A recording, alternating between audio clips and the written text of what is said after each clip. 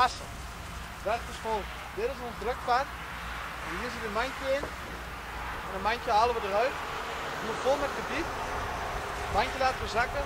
Gooi er water in. Doe snel de deksel erop. Gaat hier het gas doorheen. Gas. Hier onderin. Maar hier is het vol, deze deksel vol met water. En door druk van het gas drukt hier het water omhoog. En als hier vol met gas zit, we doen hier de kraan los, dan zakt het water. En de druk van het water gebruiken we dan zeg maar, om, het, om het daar naar het eind van de slang te persen. Zo het.